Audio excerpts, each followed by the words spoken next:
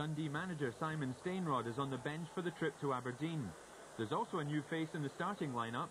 Six foot five inch Gary Paterson goes from junior football to the Premier League in one easy lesson. Talk about an inspired move.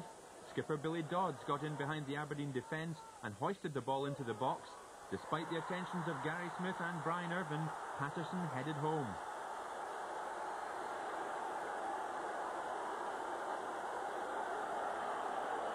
Not surprisingly, the Dundee fans who made it to Pittodrie hailed a new hero.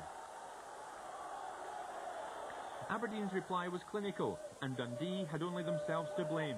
Kevin Ratcliffe and Gary McKeown get into a tangle. Jim Bett seizes on the chance and crosses for Duncan Shearer's fourth goal in five league games.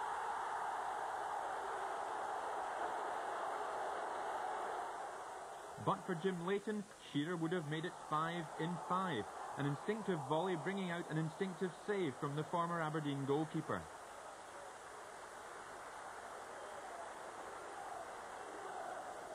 At the other end, debut boy Paterson was going in where it hurt.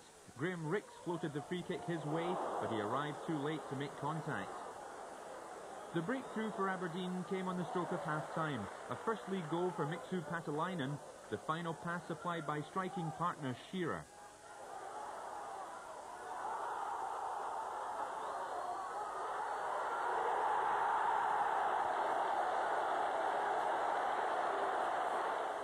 Shearer went in search of the goal to take the pressure off the Dons in the second half, but Leighton was having none of it. 2-1 it finished.